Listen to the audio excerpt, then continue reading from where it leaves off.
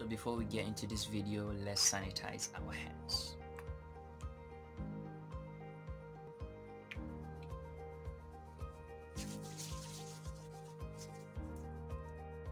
Hi guys, welcome back to my channel. My name is Ibrahim. I am a third year medical student in Nigeria and in this video I'm going to show you 5 apps in order to make you the best medical student that you can possibly be. Before we get started, make sure you hit the subscribe button and give this video a thumbs up. Without wasting any time, let's get into this video.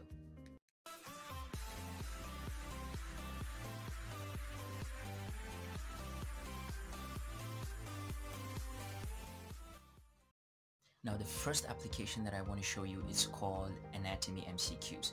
For that, let's get into my tab. So the application of Anatomy MCQs is right here on the right. This is the premium version, but it also has a free version which is right here on the left. So I'm going to open the premium version now. So immediately you open the application, you're going to have four tabs, introduction, subjects, questions and results.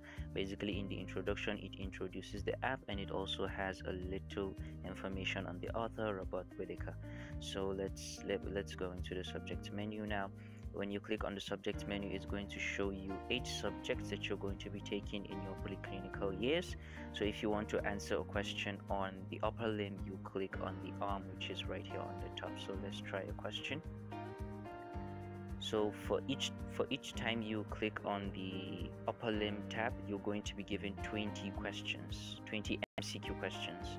And let's try the question now it says concerning the veins of the upper limb could be stated that the cephalic vein has no valves just for the sake of showing how the app, app works i'm going to say it's true the median, median cubital vein lies superficial to the bicipital aponeurosis. This is true. Basilic vein lies in the deltopectoral groove. False. Basilic vein starts at the medial aspect of the dorsal venous arc True. basilic vein pierces the clavipectoral fascia false. So immediately you answer, you finish answering all the questions, it's going to highlight the ones that you got right in green and the ones that you failed in red. So let's go into the results tab. So you now in the result tab right here on the top you can see your result for each of the courses you can see that in the upper limb i got a score of 4 out of 5 with a percentage of 80% out of 100 after doing one session of 235 sessions and at the bottom of the result tab is going to show you your total score in all of the eight subjects and also your percentage in bracket. And let's say you answer a lot and you would like to reset the app and go back and start from zero you just click on these three dots here on the upper right hand corner. It's going to it's going to show you an option of reset usage so i'm going to click on it now so after clicking on it it goes back to introduction now let's go to results and check you can see that all my results have been cleared back to zero so this is a very useful app in understanding how much you've understood and comprehended anatomy. Now the second application that I want to show you is an application that's not a stranger to medical student. It is called Teach Me Anatomy. So right here on the right is the application for Teach Me Anatomy and I'm going to open it now. So basically when you open the app you're going to see some popular articles that have been written they are very important. But for us we're going to look at browse by region. There are other this is the free version but there is also a premium version of the app for which you have to pay for. But for on the free version you can browse by region. So here you can see different regions of the body that you can choose to study for us let's take a look at the abdomen. Also when you open the abdomen there are different topics on the abdomen that you can study with. So let's take a look at the vasculature of the abdomen. Also it divides it into the arteries of the abdomen and the venous drainage of the abdomen. I really like how the app arranges them in that order. Very important for your understanding. So let's take a look at the arteries of the abdomen it also subdivides it down into the aorta and the three main branches that supply the abdomen. So let's take a look at the celiac trunk. So basically when you click on the celiac trunk it's going to show you the anatomical position where it's where it originates its different branches and different structures that they supply. And then at the top here you can see there's another tab for images that you can see here which shows you basically the different branches of the celiac trunk. And then the next tab here on the top is the quiz tab. If you click on it it's going to give you a question.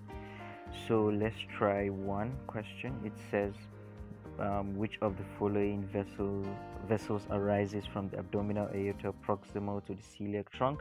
And then it gives you four options we have the superior mesenteric artery the renal artery the inferior phrenic artery and then the intercostal artery. Now the answer should be the inferior phrenic artery. So basically you just click on the inferior inferior phrenic artery here.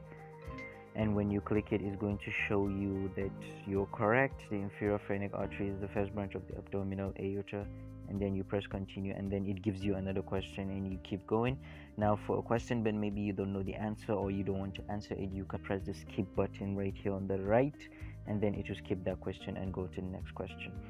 The next tab is the 3d model which unfortunately is not available on the free app. You have to sign up and also pick up a subscription for the app. So that is the app for teach me anatomy also another very important app the third app that i want to show you is called medical biochemistry. Now for that let's go back into my tab. Is the icon for the application of medical biochemistry and i'm going to open it now. Now immediately you open the app you're going to see different um, topics in biochemistry. And the reason that I like this app is that it goes straight to the point. It doesn't waste time in discussing a lot of unrelevant stuff. It gives you the basics that you're supposed to know. So for example now let's take a look at which one should we take? Okay let's take a look at the citric acid cycle. Now basically immediately you open it you're going to see um, basically like a definition of the citric acid cycle and I want you to take note of how it arranges them because headings are very important when it comes to our tests and our exams. Basically, going to look at the definition and straight it goes it goes straight to the functions of the citric acid cycle and then we go and look at the reactions reactions that are involved in different steps of the citric acid cycle and it also shows you and you see if you take a look at this it goes step one it shows you the reaction and it gives you a little bit of explanation under it. Step two also the same thing mentions the enzyme involved in that specific process. So it's very important in the sense that it breaks them down in an order that is expected of you to write in your exams and tests. And it makes it very easy for you to study. It doesn't bother you with a lot of um, a lot of hyper stuffs so I think that this app is very.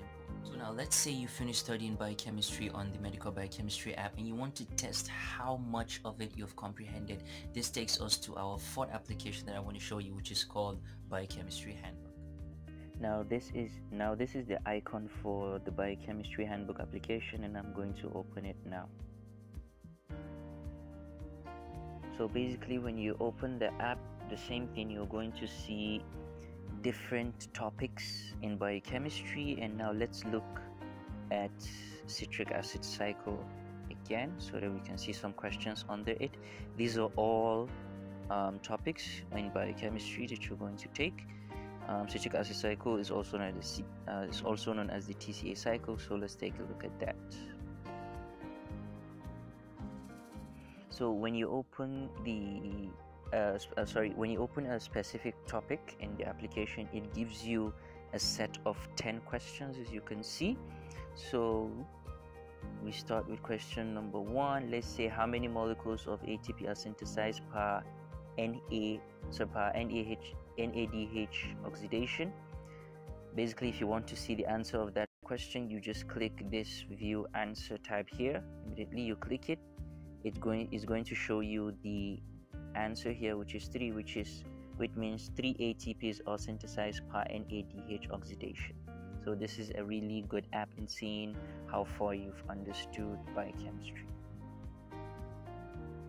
So now the final application that I want to show you guys is called physiology MCQ so for that again let's go back into now right here on the left is the icon for the physiology MCQs application and I'm going to open it now.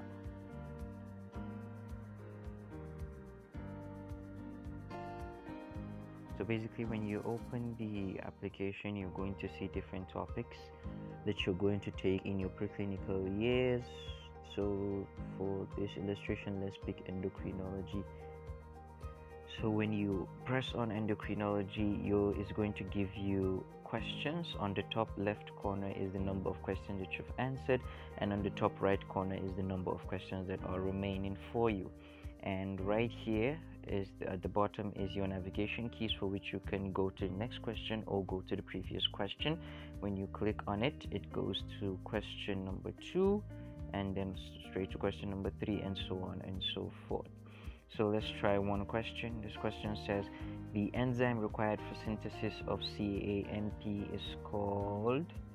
The answer is adenylate cyclase. So when you click on your answer is going to show you the answer that is correct. If that matches with the one that you picked, it will highlight it as green.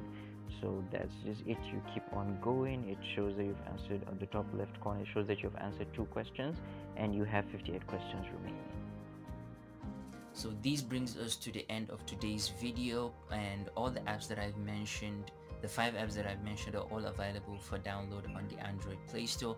Please, if there is any application that you use as a medical student that you believe is going to be helpful to medical students in Nigeria, please do share them in the comment box down below. It doesn't take away anything from you to share these apps. You are creating doctors, everyday doctors that are going to save thousands of lives so please leave them in the comment box down below. So if you did like this video make sure you give it a thumbs up. And if you want to support me in making good videos amazing videos like this that help medical students all around all around Nigeria to study better and be the best medical student that they can be so as to save more and more lives please hit that subscribe button and hit the bell icon so that you'll be notified whenever I release a new video. So before we go, let's sanitize our hands one more time. So remember to wash your hands, be kind to one another and stay safe. I will see you guys in my next video. Bye.